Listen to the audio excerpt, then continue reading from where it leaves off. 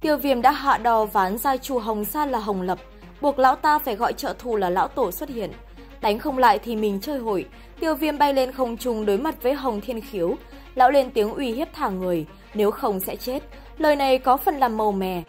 Thù oán đã kết, chẳng lẽ hắn thả người thì lão ta sẽ bỏ qua như không có gì hay sao? Trưởng lão thẩm vân của phòng lồi các đã quá điển tiết, lão yêu cầu Hồng Thiên Khiếu mau chóng tiêu diệt tiêu viêm, còn ở đấy mà làm màu.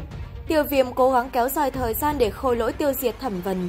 Hành động này cũng bị Hồng Thiên Khiếu nhìn thấu. Thấy hắn không có ý định nhượng bộ, Hồng Thiên Khiếu lập tức sử dụng chiêu bài võ mồm. Trước khi giao thủ vẫn không quên dùng lời lẽ ủy hiếp. Tiêu viêm ném Hồng Lập về phía bầu trời rồi cho biết mình đã đưa một luồng ám kinh vào trong người Hồng Lập. Nếu còn không đuổi theo hóa giải thì lão gia đó chắc chắn phải chết. Mất đi gia chủ, Hồng gia sẽ giống như rắn mất đầu. Hồng Thiên Khiếu không còn cách nào khác là đuổi theo Hồng Lập.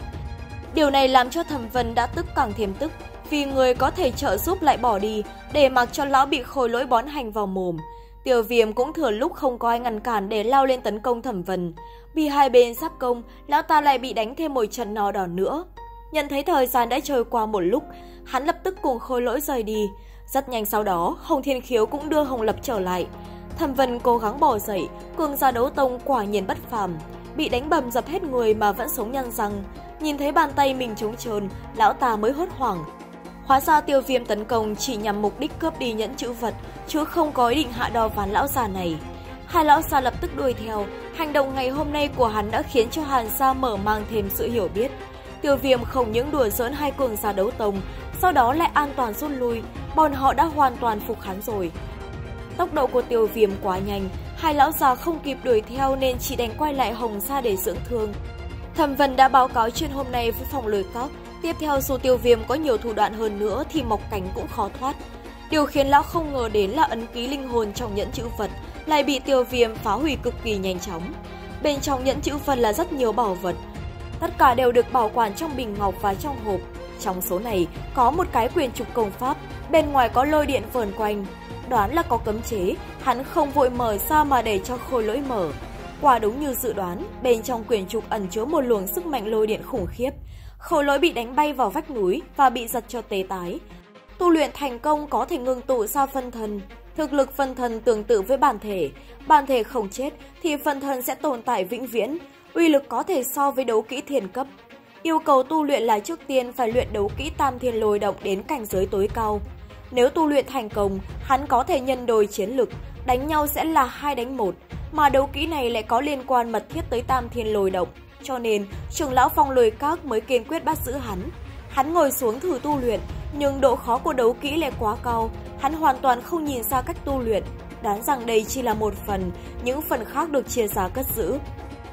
Nhờ vào ân ký trong nhẫn chữ vật, Hồng Thiên Khiếu và Thẩm Vân nhanh chóng tìm được nơi tiêu viêm đang ẩn náu. Bọn chúng đã tiến hành bao vây, giờ hắn muốn đi đã không kịp nữa.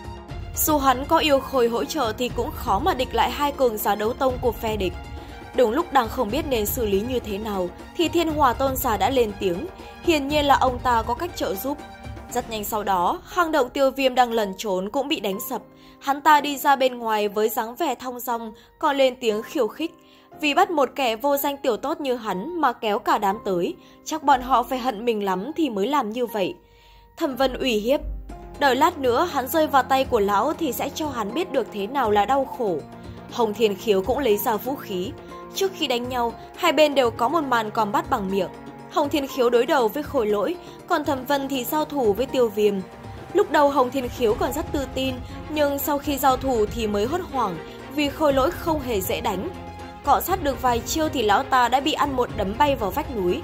Dù đã cố gắng phản công chém vũ khí vào người nó, nhưng mà thân thể khối lỗi còn cứng rắn hơn huyền thiếc sắt thép, không chịu chút tổn thương nào. Giờ hối hận muốn khóc thì cũng không kịp nữa. Về phần tiêu viêm, hắn được thiên hỏa hỗ trợ gia tăng sức mạnh, khí thế cuồn cuộn bạo phát ra ngoài, đám cường giả đấu vương đấu hoàng bị đánh bay đi như trong chóng. Hắn bây giờ đã có thực lực vào khoảng bát tinh đấu tông, điều này dọa cho thẩm vân sợ mất mật.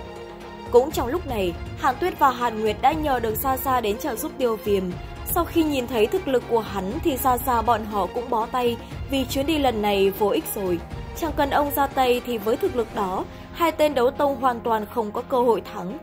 Thẩm Vân cố gắng chấn an bản thân rằng đấu kỹ dù có cao, Sao có thể để hiệu quả khủng bố như vậy? Chắc chắn là hắn đang dùng chơi trò ngụy trang, thực lực là giả.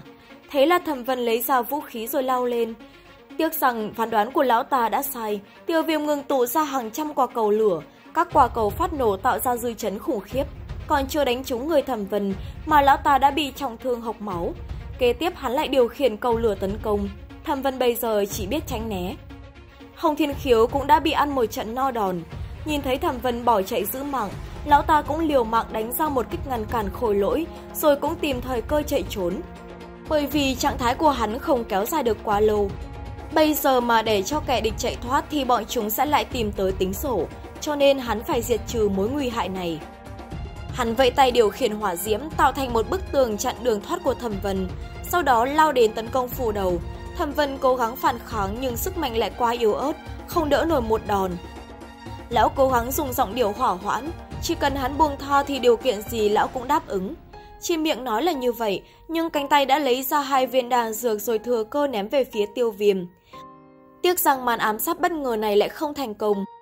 Tiêu viêm dùng tốc độ sấm sét tránh thoát, chặn đường tặng cho cú sút vào mặt, cơ thể lao xuống đất.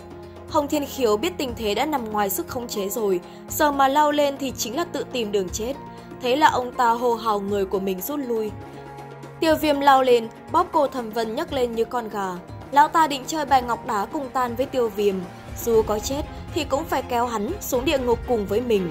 Lão ngưng tụ sức mạnh để tự bảo, cường giả đấu tông tự bảo, uy lực vô cùng khủng khiếp. Hắn muốn chạy cũng không kịp nữa, nhưng mà tiêu viêm lại không rời đi.